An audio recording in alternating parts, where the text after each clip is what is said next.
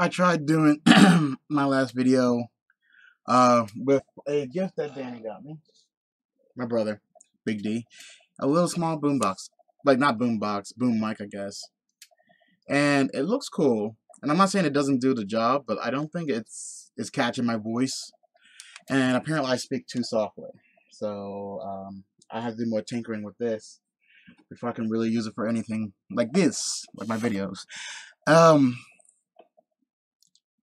so I'm going to tell you about my weekend. Um, not the whole weekend. There's one part of the weekend I'm not going to discuss in this video, possibly the next that I'm going to do. Um, so I went down to Big D's place, and we were working on the car. We actually got the exhaust cut off. We cut that thing off. Uh, matter of fact, if you were my friend over the weekend on Facebook, um, you would have been able to see um, as things happened on my story. Um, you know, oh, we just cut off the the muffler. Okay, we went down to AutoZone. It, it was a pretty cool experience. I, I, I was kind of proud of myself for documenting what I did so far, and um, luckily I got enough people to kind of look at it. It kind of makes me want to go. Okay, well maybe I maybe I should do the same thing next weekend. Um, but like we took off the muffler, we had to take out a majority of the uh, the actual exhaust pipe that was still rusted out. Um, we had to get connectors that were like little Legos and kind of like connect them together. We had to find the right size, and one store didn't have it, so we went to another store and really didn't have it, but they said the other store in another town had it, so we went over there. Like Saturday was a fun day. Um, ran all over the place looking for these like not not Lego pieces, like those like little tubes that like from like a two to a two and a three quarter and stuff like that. It was just kind of find the right size so that it would actually snugly fit in we worked way it like late into the night. Not like you know probably what, pa, around ten is whenever we're like okay we're done. We're done with the actual car parts, the actual exhaust part. So um, the next day we found out that there's a leak in the exhaust up front uh where a flex pipe happens to be. So um, rather than having to use a I think it wasn't a buzz saw. It's a certain particular saw. I forget what it's called.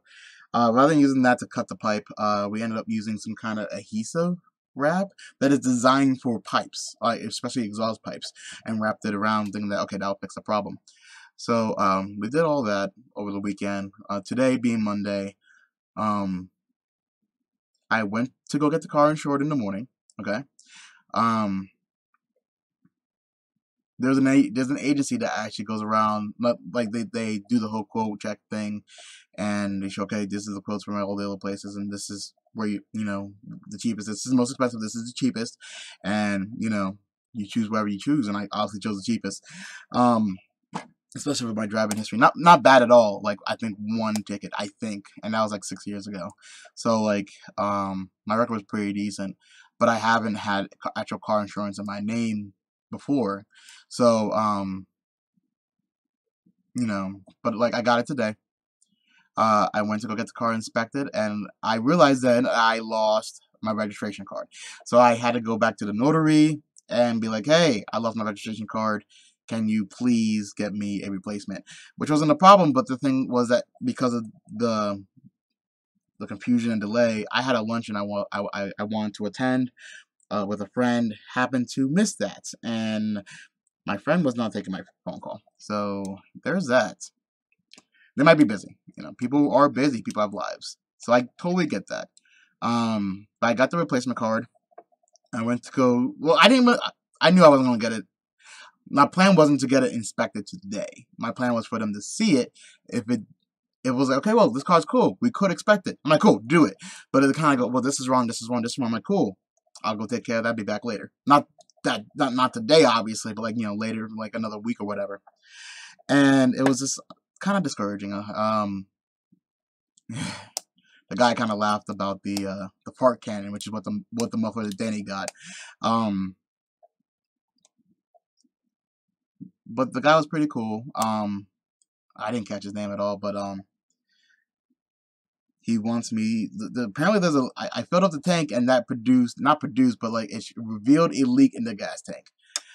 Not a major leak, but a leak that is noticeable at the very least. So there's that, and potentially potentially a ball joint that needs to be replaced with the sway bar. So there's that. and he also said that the um, flex pipe that we were trying to use the adhesive on. It just didn't work. Uh, the damage is just too too severe, and we actually had to get a new flex pipe. And I was really discouraged about that because that entire running around was from 9 o'clock to 2. The entire running around was from 9 o'clock to 2. And just to find out, like, okay, it, it, did, it, it wouldn't pass. I still have work to do on it, which is okay, which is fine. Just need to get on top of that.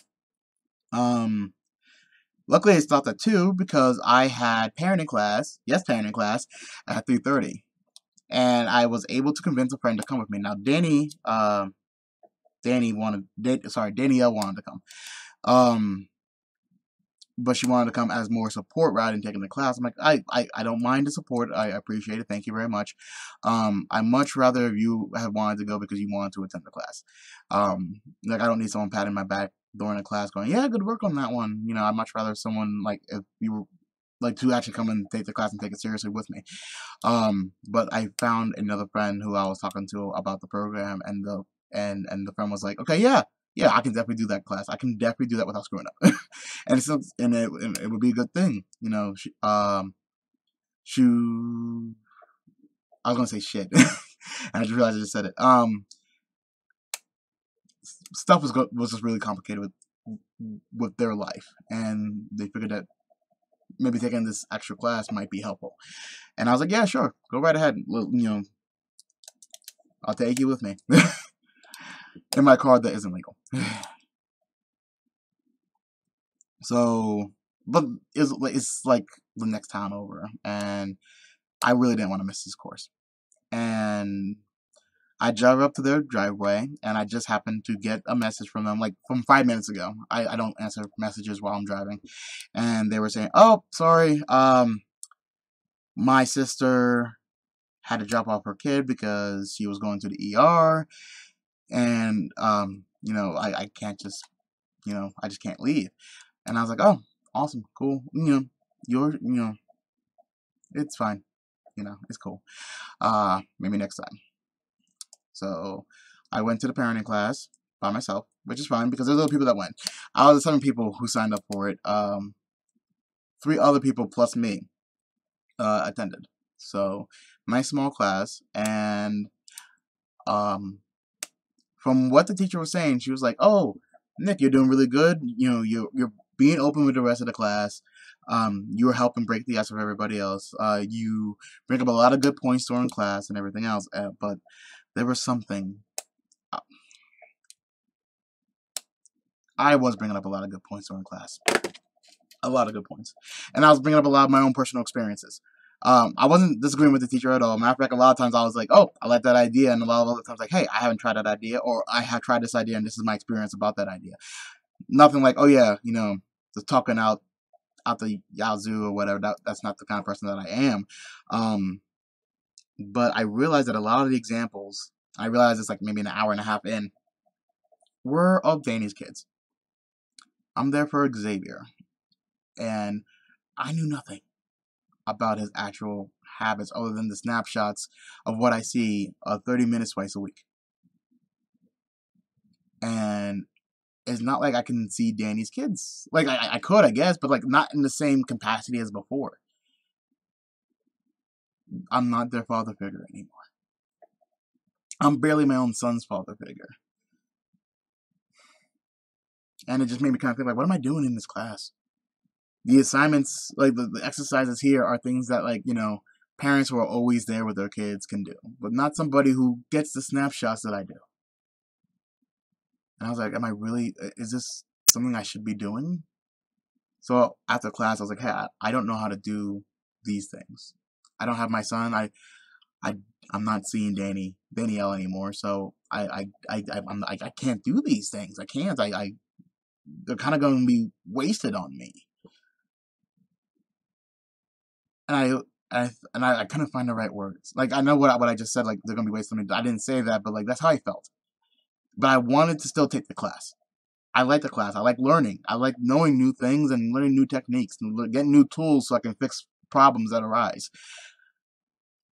I just needed help to be able to associate those things with my life. And she and she sat down and she looked me directly in the eyes like, "Hey, you are a smart guy and you are definitely trying." which is a lot more than what a lot of people do. Stick with this. It will come to you. And if you do really need any kind of help, we are here. We are the agent. They're the agency that is going to advocate for the, actual face to face that we're going to have. Me and Xavier. So like that helped, but I, I don't know. I really don't. I I don't know if I'm doing the right things anymore. And this on top of what happened on Sunday, just I just feel so I don't know insecure. Um just beaten down and tired.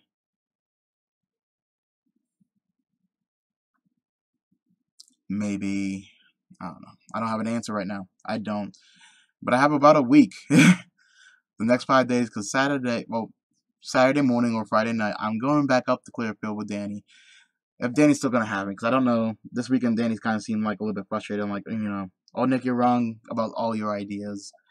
It's not gonna work. You're being an idiot, and you know, I had to fight for the small changes that I did that I was able to make and or suggest.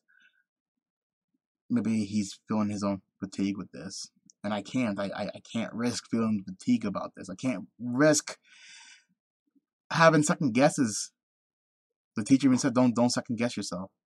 You're making the right moves. You just need to find a way to make them work." I gotta find a way to make this work. So even though today and last night was a bad day, I gotta go to sleep tonight, wake up tomorrow, and find a way to make this American dream come true.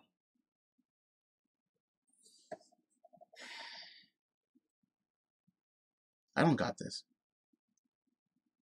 But I'm to give it my damnedest to make sure that I will at least not completely fail. I can't give up now. I'm not to give it, I'm not just to give it the college try. I'm to give it everything I got. And I'm just to hope it's to be enough.